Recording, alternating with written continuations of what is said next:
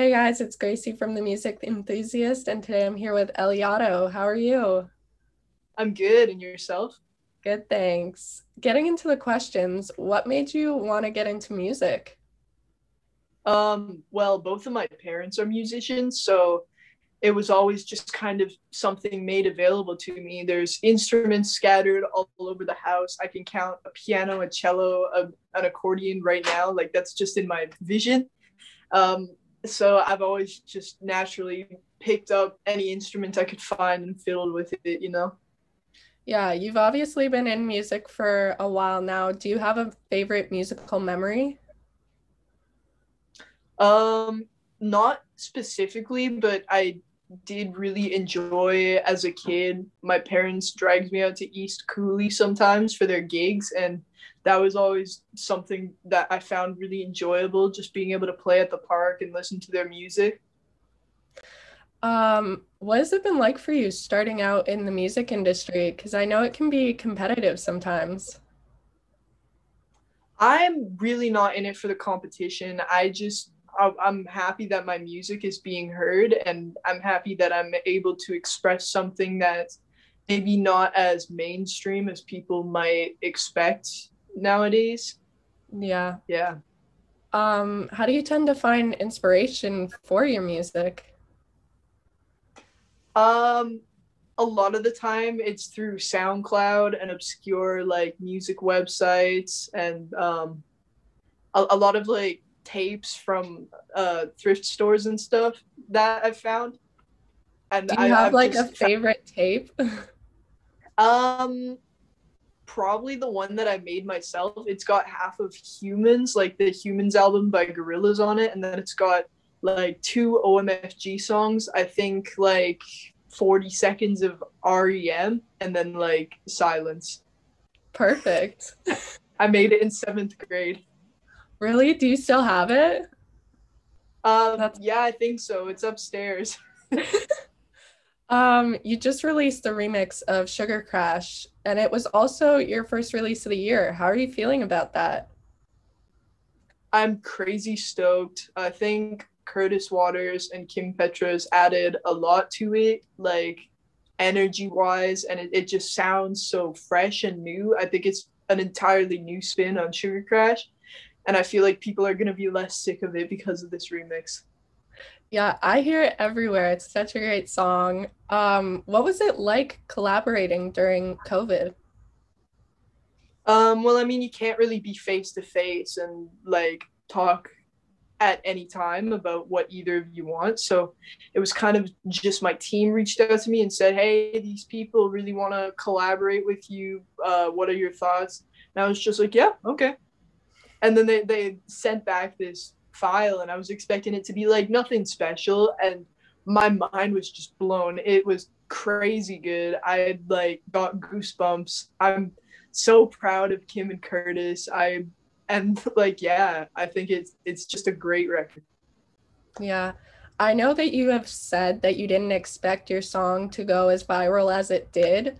What was that like watching it blow up and still watching the numbers go up?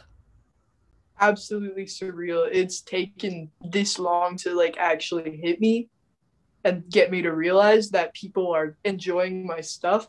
When it first happened, I just wasn't even processing it. Just like I was completely euphoric. People people are listening to me, you know? Did you have like a key moment where you're like, wow, this is actually happening? Yes, I did. I was standing on the train platform on the way to my girlfriend's house. And though I haven't bought a fancy car yet, I still take the train.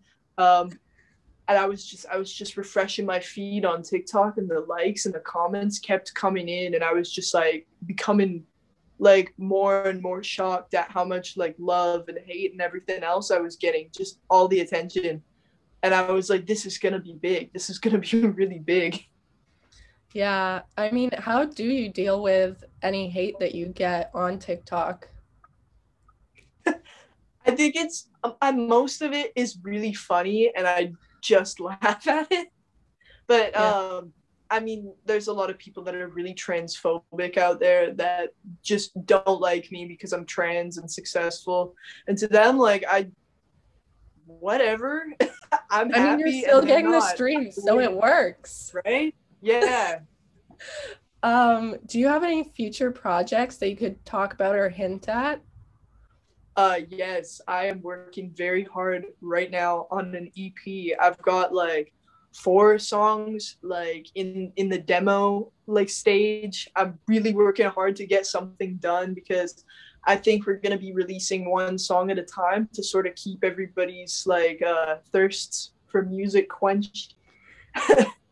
That's a good Yeah, way to I'm- put it. I'm very Um, excited. This is more of a fun question for you, but if you could describe yourself and your music in three words, what do you think they would be? Oh, um uh diverse, um authentic. Mm-hmm.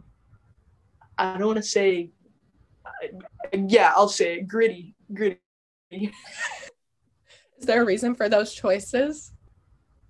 Well, I mean, I do a lot of genres. I'm anywhere from folk punk to um, like super early internet sounding happy hardcore. So there's a lot of diversity in there. Authentic because um, I don't like to make up stories. I just like telling the truth through through my lyrics.